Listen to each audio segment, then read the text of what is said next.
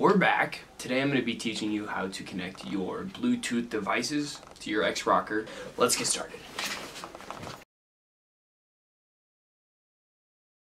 First, plug your power cord into your X-Rocker. Once on, navigate to Bluetooth mode on your mobile device and tap on X-Rocker to connect.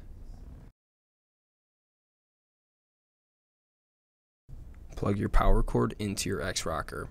Then, press and hold the on-off button for 10 seconds. Once on, navigate to Bluetooth mode on your mobile device and tap on X-Rocker to connect.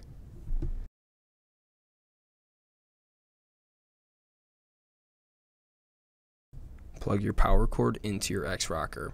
Then, press and hold the on-off button for 10 seconds. Once on, navigate to Bluetooth mode on your mobile device and tap on X-Rocker to connect.